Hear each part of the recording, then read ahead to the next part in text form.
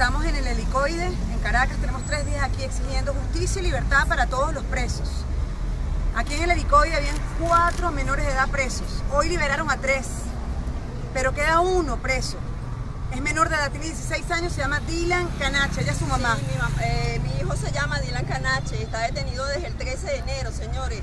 Mi hijo lo acaban de trasladar a, co a coche con una fianza constituida desde el 15 de febrero, Dios mío. Por favor, yo pido la libertad de mi hijo. Mi, mi, hijo tiene una boleta que extraviaron. Yo quiero la libertad de mi hijo. Dylan es menor de edad y tiene boleta de excarcelación. Libertad para Dylan.